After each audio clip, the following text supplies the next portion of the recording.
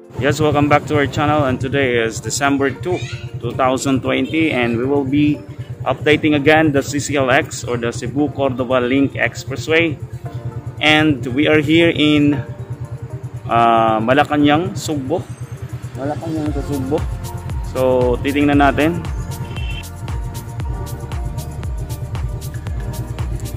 Parang wala na, hindi na na-maintain.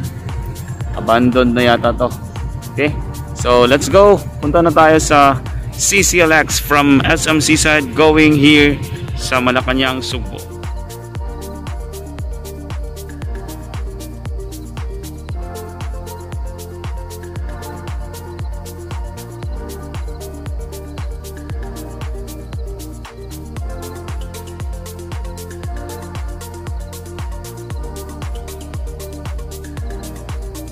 Once again, welcome back to our channel Know Something About Everything and this is for the CCLX update. First week of December. So let's start here. So, magsimula tayo dito sa may SMC side going to Malacanang sa Subo or sa Plaza Independencia. So this is the longest bridge in the Philippines soon. And it has 8.5 kilometers. So titingnan natin yung latest update. At kung bago ka pa lang please subscribe to my channel and click the notification bell. Help me grow this channel para sa updates ng mga project dito So, ayan, nakikita na natin yung uh, CCLX. This will link Cebu mainland to Cordova. So, sa Cordova, uh, marami doon or more on causeway yun doon, banda. So, dito yung bridge So visible na yung bridge dito, nagawa na.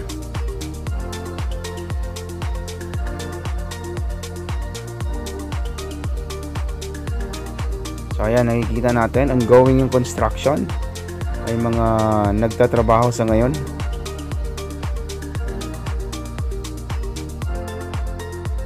Medyo malapad to dito banda. Ayan, medyo malapitan natin makikita natin ang malapitan. So that is the update here.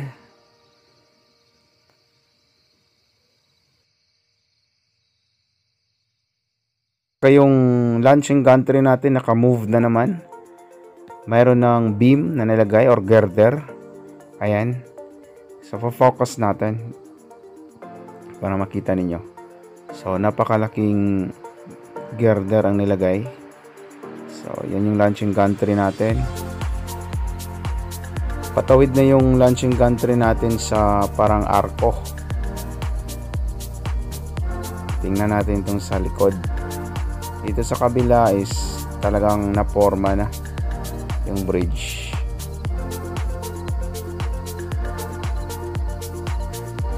Yan, mayroon din nagtatrabaho dito. Saka yan yung ano, papuntang uh, Cordova uh, viaduct then causeway na yun doon sa unahan. Ayan merong nagtatrabaho. Target opening nito is uh, 2021 next year. Matatapos na to. Tsaka meron siyang bayad ang dadaan So estimated to 80 to 300 pesos depende sa sasakyan. So ayan nakikita natin naka usad na yung launching gantry. Baka ito na yung isusunod nila, lalagyan na naman ng beam dito. Baka pag road closure na naman, yan ilalagay naman nila. So yan yung dalawang towers natin. Saka ang design ng tower is meron niyang ano parang cross at itaas. Ipa-focus natin. Ay, meron ng stay cable. Sa nakikita natin, meron siyang apat na stay cable dun sa isang tower. Saka dito yung malapit na tower is merong uh, tatlo. Oh, ayan. Yan yung launching gantry. So, yan na siguro yung isusunod na lalagyan ng beam. Ito dito na banda.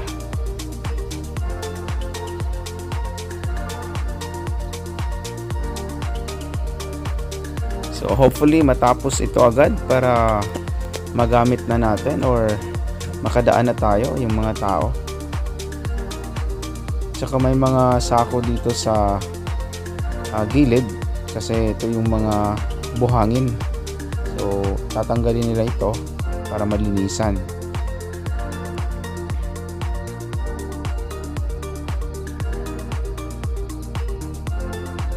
Tsaka dito napansin natin mayroon ng pen, uh, white paint yung nasa gilid. Siguro pipinturahan nila ito para gaganda pa lalo. Ayan, nakikita natin may white paint. Bago lang siguro to.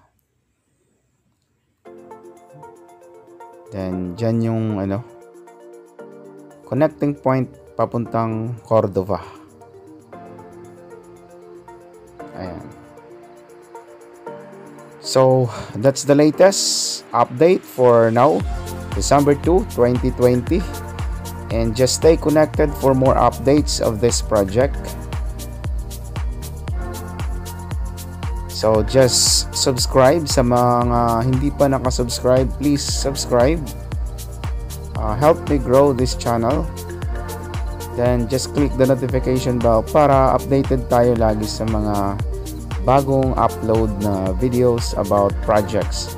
So hindi lang ito yung projects na kina-cover natin, marami pa. Thank you for watching and have a good day and see you next time. Thank you.